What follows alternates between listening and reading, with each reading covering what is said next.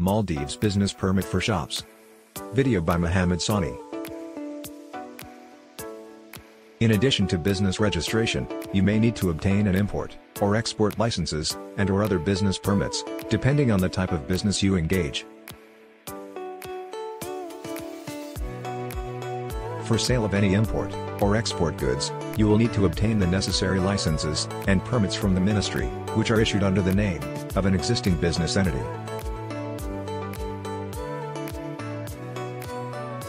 How can I obtain a trade permit to sell imported goods in a shop? 1. In order to obtain a trade permit for trade of imported goods, submit a trade permit application form. 2. You should submit a copy of the certificate given by Malé municipality to the building of operation of business.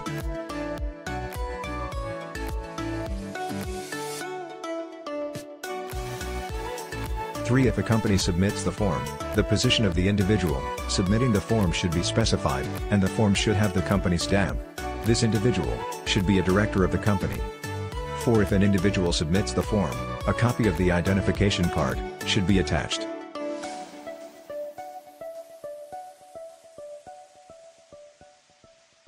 Five The original ID card is also required for a reference. 6. Fill the name column in the application form, with three names in order of preference. How much do I need to pay? 1. After the name is registered, you will be required to pay the monthly fee, in advance for a minimum of one month. To The monthly fee, for a shop on an island, with a population higher than 10,000, is MVR 200.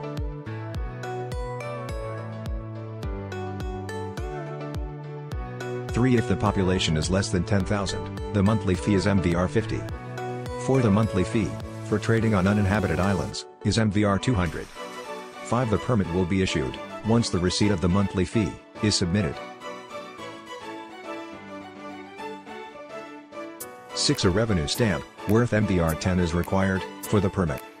7. If payment, is made by check, it should have a bank guarantee, stamp. What should I consider, when deciding on a premise, for a shop? 1. The shop should have a door, that provides direct access, to it from the street. 2. The shop should not have a door, linking it to other buildings. However, if the place of residence, of the owner of the shop, is adjacent to the shop, the ministry might give permission, to construct an accessible door, between the shop, and the residence.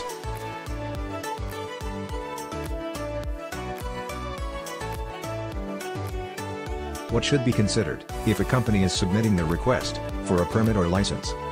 1. If the request is made, on behalf of a company, partnership, corporative society, club or a party that requires government registration, the receipt of the annual fee, should be submitted with the request.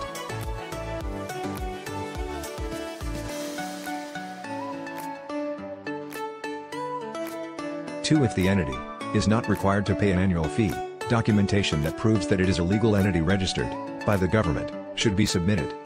3. The mandate of the entity should include trading of imported goods.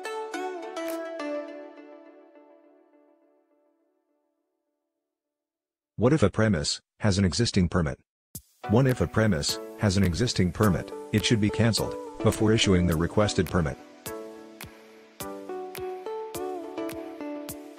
2. If the premise is not currently used for trade purposes, a letter should be submitted by the previous traders, using the premise, stating that they have stopped using the premise and cleared it of all goods.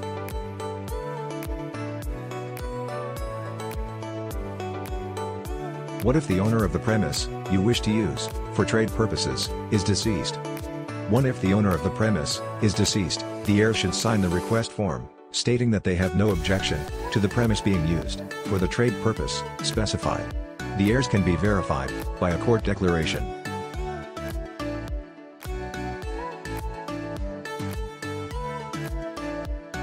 2. If the court has not declared the heirs, a letter signed by the known heirs, should be submitted. The letter should state, that in the event that another heir, is declared by the court, and that heir objects to the premise, being used for trade purposes, the requesting party has no objection, to the withdrawal of the issued permit, or license.